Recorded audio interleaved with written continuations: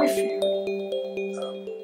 not, I think it's a realistic fear, is that if, if that kind of concentration of wealth continues, then we get to be more and more an oligarchical country, a country that's run from the top. Inherited wealth plays a much bigger role than earned wealth, than meritocratic wealth. And so you get not only real danger